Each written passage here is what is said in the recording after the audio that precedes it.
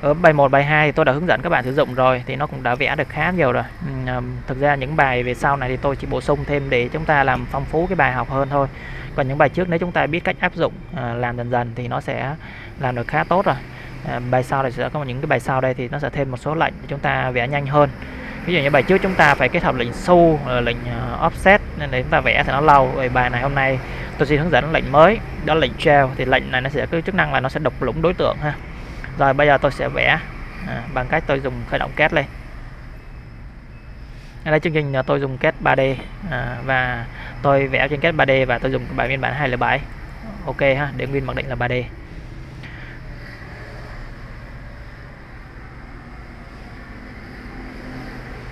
à, tùy máy các bạn máy các bạn rất là nhanh rồi máy của tôi thì nó hơi đời chút nhưng mà do tôi đi làm suốt ở công ty nên là tôi cũng à, không có thời gian à, ờ, nếu ở nhà nên là cũng ít khi dùng cái máy ngon chút à, máy này tôi dùng lướt web chơi game thôi.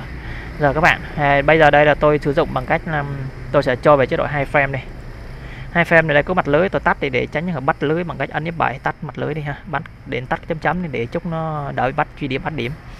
Rồi bây giờ tôi thử vẽ đường coi. L với lại coi. À, gọi L gọi lên đây cho nó trăm đi. Các bạn thấy nó bự đúng không? Chúng ta dâm nhỏ lại. Mà vẽ lệnh like thì các bạn thấy nó bắt tiện cái là chút là chúng ta mất công là phải nối điểm nữa. Tôi dùng lệnh b line cho nó dễ. Bl, gọi enter. Chúng tôi thể vẽ đây, từ đây đây tôi cho nó để đây một đường thẳng nhánh huyết 8 các bạn ha, cho nó đi đường thẳng cho nó dễ nhìn. À các bạn thấy đây rằng mặt 3D tôi chơi với góc nhìn top đi, cho rằng 2D các bạn dễ nhìn ha. Gõ lại BL lại. Rồi, nhập vào. Cho lên trăm. Cho về hướng này. 100 này các bạn thấy nó nó bự quá đúng không?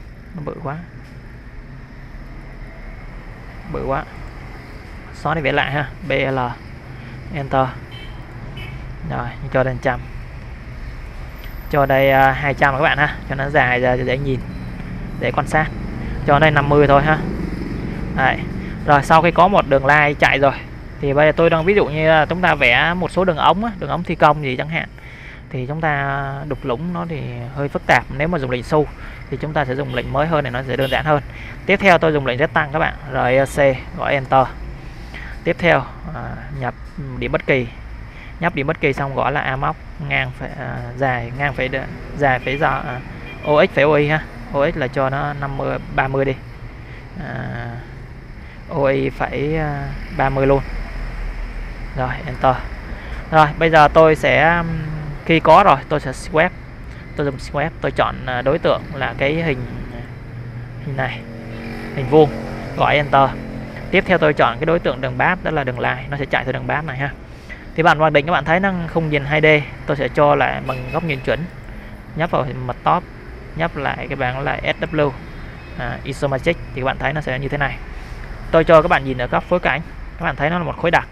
Bây giờ tôi sẽ đục lũng nó ha đục lũng nó. Rồi bằng cách nào? Bằng cách là tôi dùng lệnh modify menu modify chọn solid chọn là shell. Shell xong các bạn chọn vào cái đường nét của cái khung này. Bước thứ nhất chọn đường nét. Đấy. bước thứ hai các bạn không được chọn nét nữa mà các bạn phải chọn vào cái cái um, các bạn mục đích của tôi đang đục lũng ở giữa nên tôi không chọn vào cái đường nét nữa. Nếu tôi đục đường nét thì nó sẽ cắt bên ngoài các bạn nên tôi không chọn nét mà tôi sẽ chọn một cái mặt bên trong, mặt giữa này tôi nhấp để nguyên ra các bạn nhìn đây này, có hai mặt. Tôi sẽ chọn mặt thứ nhất đây và mặt thứ hai đây, hoặc là mặt này trước, mặt này trước đều được hết. Tôi chọn mặt thứ nhất này. Rồi. Nhớ nha, đấy, các bạn thấy tôi đâu có nhấp vào nét, đúng không? Tương tự như vậy tôi nhấp vào nét vào cái mặt thứ hai. Rồi, như vậy tôi chọn hai mặt xong. Tôi gọi enter. Rồi nó kêu là nhập bán kính. Tôi ví dụ tôi muốn đục lũng là 10 bán kính là 10 enter. Các bạn thấy đấy. Rồi, cái này tôi thoát đi ha. Ép kép hủy. Rồi, các bạn thấy nó sẽ đục lũng một kích thước là 10 các bạn này đấy. Nó đục lũng từ bên đây sang bên đây luôn. Đó, các bạn thấy như này, có đường này có đường là đi đây đây đây đó, đục lũng bên trong, nó đi sang tới đây luôn. Thì các bạn, nó hay hơn đúng không? Nếu các bạn dùng lệnh xu, lệnh offset vào thì dòng lệnh lệnh xu thì trừ khối cũng được, thì cũng ra nhưng mất công hơn. Thì lệnh nó sẽ nhanh hơn cho các bạn. Đó. thì đây là tôi sẽ hướng dẫn các bạn này. Bài này nó sẽ hướng dẫn các bạn nhanh hơn đấy. Các bạn để xoay nhấn phím shift, rồi nhấn chuột giữa xoay ha. Để xem. Máy của tôi nó đừ, nó hơi lát hình các bạn ha. Đó, như vậy các bạn thấy nó là đã đục lũng rồi các bạn có thể ờ, cho về không nhìn hai frame này để ờ, để xem cũng được. Đấy, nó đục lũng này. Nãy các bạn thấy nó đục lũng này ha. Xem có góc nhìn này xoay góc nhìn để mà xem. Này các góc xoay để xem. Đó. Nó đục lũng từ bên này bên kia luôn. Đỡ mất công mới dùng lệnh xu ha, mất thời gian. Đó. Rồi, thì đây là cái bài này là bổ sung thêm để các bạn làm nhanh hơn ha tương tự như vậy thì mai mốt tôi sẽ hướng dẫn thêm một số cái bài nữa. Như vậy thì cái lệnh à, nói lại đó là lệnh shell này thì chức năng để đục lũng đối tượng thôi ha. Rồi, xong, đây là tôi xin à, kết thúc ừ, của cái bài này. Ờ, video sau tôi sẽ làm thêm cho các bạn nghiên cứu thêm. Các bạn cứ vẽ từ từ, nếu thắc mắc thì các bạn cứ comment bên dưới, ha.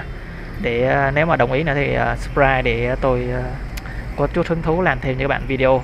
Còn những bạn mà giỏi rồi thì chắc cũng không cần những bạn mà chưa được Ờ, ấy thì chúng ta có thể nghiên cứu ha. Cứ từ từ chúng ta nghiên cứu dần dần các bạn. Ờ, học thì chúng ta phải từ từ, chứ không nên gấp quá. Gấp quá thì cũng không nó không có hiệu quả lắm ha. Rồi, tôi xin ờ,